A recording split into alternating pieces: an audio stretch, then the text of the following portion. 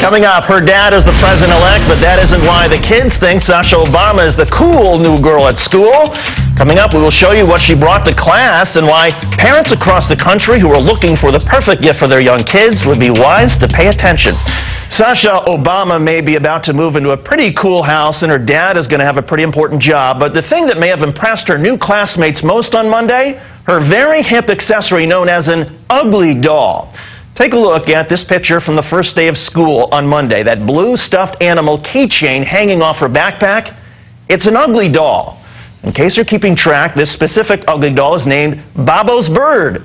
There are two dozen or so ugly dolls, and each have their own backstory. And the ugly doll line even includes books and clothing, so parents beware. Ugly dolls are the, th- the in thing even if I can't say it, and perhaps even more so now thanks to a very cute Sasha Obama.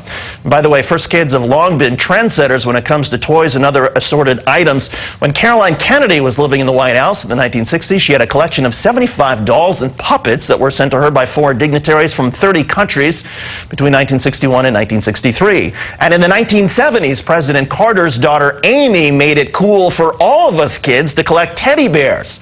At one point in the White House, she apparently had 39 of them. Coming up, supporters and staff alike